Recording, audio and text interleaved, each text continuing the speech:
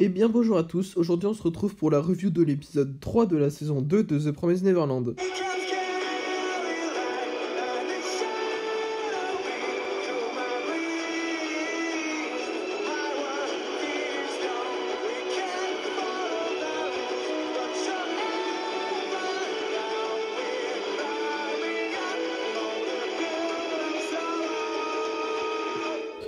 Alors, après que Emma ait chaleureusement remercié Mujika et que Rei également bat son jeu aux échecs, ce qui est très classe, les enfants se séparent des démons et se mettent en route vers le point B0632. Oh oui, ça faisait longtemps. Ah oui, et aussi Sanju veut pas les bouffer parce que dans le futur, il voudra bouffer leur progéniture.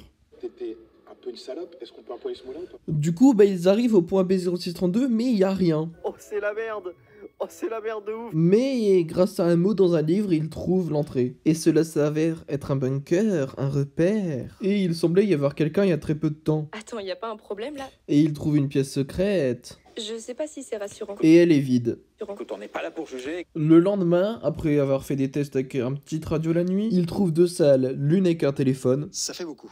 et l'autre, une pièce vide avec écrit Help en rouge, peut-être avec du sang, on ne sait pas.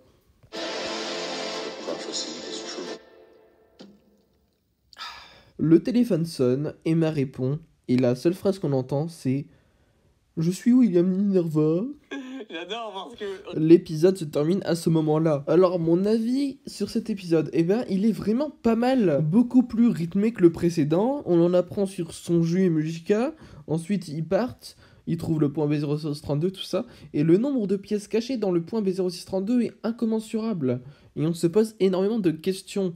Et c'est ça qu'on aime avec The Promised Neverland, c'est de se poser énormément de questions. Genre, pourquoi il y a une pièce avec écrit Help barré? Pourquoi il y a une pièce avec juste un téléphone? D'ailleurs, c'est pas un téléphone portable, mais un téléphone... euh, un nom, mais je sais plus, ok? En plus, je me suis fait mal, je suis connu. En plus, comme d'habitude, les musiques et surtout l'ambiance est magnifique. Pour moi, c'est un épisode qui est calme et qui est parfait pour un épisode de cette saison de The Promised Neverland. Contrairement à l'épisode 2, il a réussi à me donner la hype de voir le prochain épisode. Car oui, je suis l'être qui compte après tout, un série post de super-héros. Je m'appelle Ruport, je suis intelligent. Bon, du coup, c'est la fin de cette review de The Promised Neverland. Bye